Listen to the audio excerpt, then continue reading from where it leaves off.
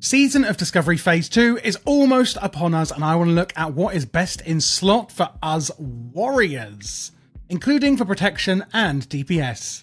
So this is going to be a preliminary guide, meaning that things could technically change, and I am going to be simming and testing all of this properly once the patch actually launches, so make sure you subscribe so you don't miss my updated version, including BiS and pre-BiS. But I just couldn't wait any longer. Let's actually have a look at what we've got um, what we've got going for us, really. So starting off with DPS then, we've got the tempered interference negating helmet on our head. This is going to be requiring blacksmithing. I do think there's going to be, um, I think they've confirmed there's going to be a quest line regarding this, same as it was in phase one. Blacksmithing is clearly the way to go for us warriors. That kind of goes without saying. Second one, probably going to be engineering or enchanting, in my opinion, but I'll do a full class guide. So again, don't make sure, make sure not to miss that. Um, this is going to increase our chance to get crits by 1%. And when we use it, this is on a 10 minute cooldown, we can actually uh, reduce our movement speed by 20%, but also increase our spell resistances to all schools by 50 and increase melee attack speed by 20% for 10 seconds. I think this is actually really, really good. Unfortunately, it does look like this on top of our head. And now that I've just looked, I'm going to move myself to over here so I'm not in the way. Um, going on to the neck piece, we've got the Gnomeregan Peace Officer's Torc. Pretty simple, really, and a lot of these items are going to be offering the same sort of thing. As you can see here, basic attack power increase and increasing our crit chance. There's a lot of crit chance increasing by 1% on each piece and a lot of hit chance increasing as well, which is really nice to see because as we're getting to high levels as well, we do want to start trying to at least get towards that hit cap. Troggslayer pauldrons on our shoulders, again to 2022 attack power with some agility and intellect on there. I do wish they had made something a bit better. It's a bit all over the place. I do feel it's a bit lazy. Um, the reason I'm not taking the machined, um, is it machined, machined alloy shoulder plates, which actually do have 12 strength and 11 stamina on them is because of the 22 attack power on here. Now, of course, again, I will be simming to make sure we know for sure. However, I do think the Troggslayers with that attack power is going to be better overall. But, you know, the choice is yours. Obviously, the patch isn't even out yet. We've got the Drape of the Dismantling on our back. And then for the chest plate, we're going to go with the electromagnetic set. This is actually quite cool. Again, increasing that crit by 1%, 26 attack power, some basic stats. Again, stamina, intellect, you know. But it is going to give us on the 2 and 3 set bonus 24 attack power for 2.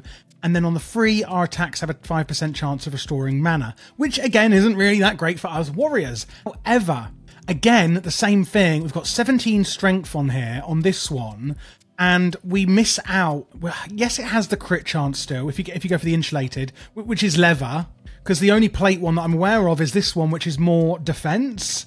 Um, although it does give 16 attack power on the two set, so uh, the defense one could actually be better. It's, it's quite interesting. Um, but I'm going for this so far. 26 attack power on there, another 24 on the set bonus, and then ignoring the mana.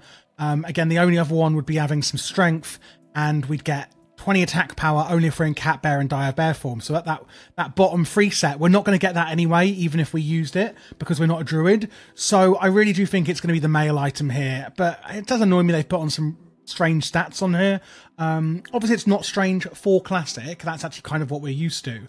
However, they have actually changed a lot of the dungeon loot, if you weren't already aware, for people like um, casters, mages, priests, druids, and therefore, why couldn't they do it for warriors in the raid? I just think it's a bit lazy. Um, but hey ho, maybe you guys disagree. Let me know in the comments. That's you know that's fine if you do. Going then down um, onto the bracers or the wrists, we've just got these basic experimental aim stabilizers. Assuming we're going for two hand, Thermaplugg's Rocket Cleaver at a, uh, pretty much 29 strength, you know, amazing there. Um, there is also the Sanguine Crusher, which we could be getting, which is going to increase our crit again by 1% and give us 18 strength for 12 stamina. So this is from the Blood Moon, and that's the new PvP event in Stranglethorn Vale. The rewards from this for all classes are pretty nice, to be fair. I've looked at quite a lot of them so far, and I'm really, really excited for this because I feel like in phase one, it was like, yeah, we get the sergeant's cloak, things like that. But in phase two, like, we're getting some really awesome PvP gear. On the gloves, then, we've got the Machinist's gloves. Um, pretty standard, apart from one thing. The equip bonus is giving you plus 30 attack power when fighting mechanical units. Mechagon, hello, Mechagon? Nomagon, we're not going to Mechagon. Um, but, but if we were, these would also be great. So, you know, if we go Season of Discovery, BFA, Mechagon, then woohoo for us. But right now we're not, so let's keep on topic, please. Um, yeah, 30 attack power when fighting mechanical units, which is obviously fantastic. Uh, Dark Vision Girdle, um, pretty nice. Again, stamina, intellect, 24 attack power, blah, blah, blah. Electromagnetic courses. These, again, are the two electromagnetic set pieces which we're going for, and we're going to get the whole free set.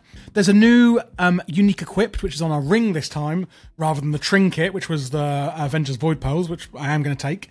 And these rings, you can have one of each. I always say you should get the Devastation for DPS warriors, Strength, Agility, Stamina, and some resistances on there. The other ring, you can just stay with your PvP ring from phase one.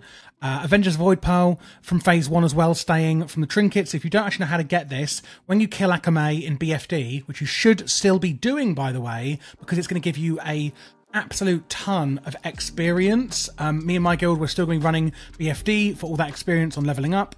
Um, so if you haven't got it already, you can still have a good chance of getting that Avengers Void Pearl. And then we've got the Gyromatic Experiment 420B. Again, adding 18 attack power and increasing attack speed by 5%, but you may be able to push this experiment further. What does that mean? I do not know. Maybe you do, but I do not. Um, and then we've got the Monolithic Bow in the range slot with some strength and agility. Yeehaw, we're all done. Um, let's go on to tanking then. You can see actually quite a lot of it is changing. When I was doing my Paladin video, um, it was a bit boring really. Ret and um, protection wasn't really much happening, um, but we have actually got a good amount of change here. So staying true with the blacksmithing helmet, we're going to go for the Justice Badge. I feel like this is like a, a, meme to something like the Avengers or something, but I don't know if I'm just making that up in my head. Um, increasing our chance to dodge an attack by 1%, increasing defense. Machined alloy shoulder plate still. Um, then we're going for the prototype parachute cloak on the back, reducing our full speed. You could also go for the coagulated cloak um, here. It really doesn't matter, um, or the drape of dismantling. That there's a few options really. Again, I'm going to have to sim that when we can. We're going to go for the hazard breastplate set, increasing defense, attack power, and um, chance to hit by 1% there on the 2 and 3 set. Remember, we can enchant this to 50 health as well, which you can see on this item here. 11 strength, agility, and stamina. This is really, really nice for us warrior tanks.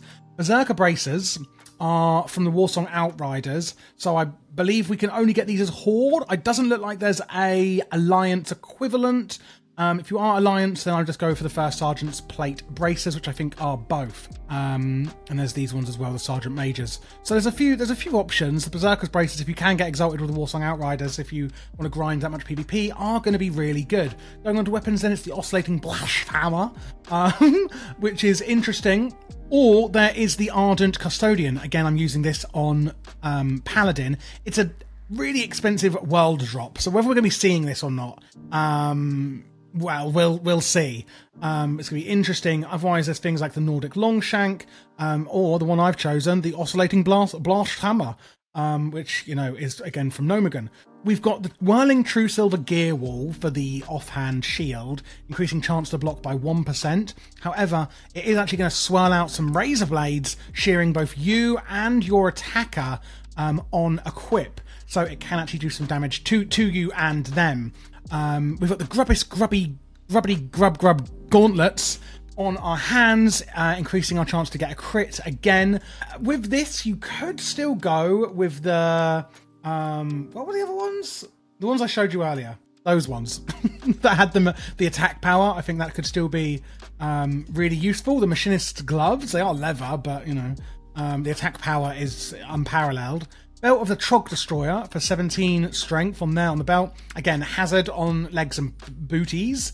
And then it's going to be the Devastation ring again on there, and same again with the other ring, the PvP one. There is Wordle's Hardened Core, which is a fantastic trinket. The hardest core, as it says, increases armor by 1,000, but movement speed is reduced by 60%. Can't happen. Um, sorry, effect cannot effect cannot be removed and lasts for 10 seconds. 30 min cooldown which means really you're going to be using it like what once per raid, twice per raid. I don't know how long um, it's going to be. My guild near the end of it, we're clearing BFD at like 20, 30 minutes now. It's getting crazy. Um, so you know, probably saving this maybe for the last boss. We're not sure. Um, and then again, one percent increased chance to dodge. Smot's Compass again with an equip increasing further dodge chance and another trinket, and there's an Outrunner's Bow with some stamina and agility on it. Um, uh, for for the bow. Um, yeah, so this is the preliminary guides. So, like I said, I'm going to be doing guides for the release once I've simmed it, and I'm going to look at pre-BiS.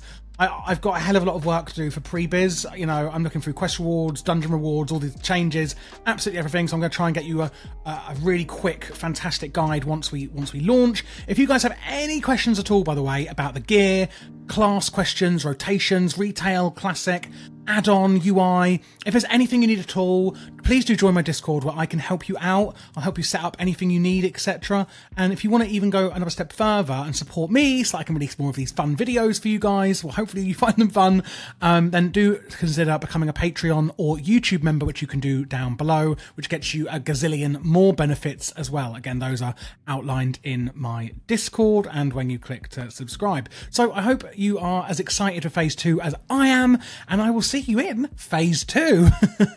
Don't forget to subscribe and click that like button and let me know your thoughts below.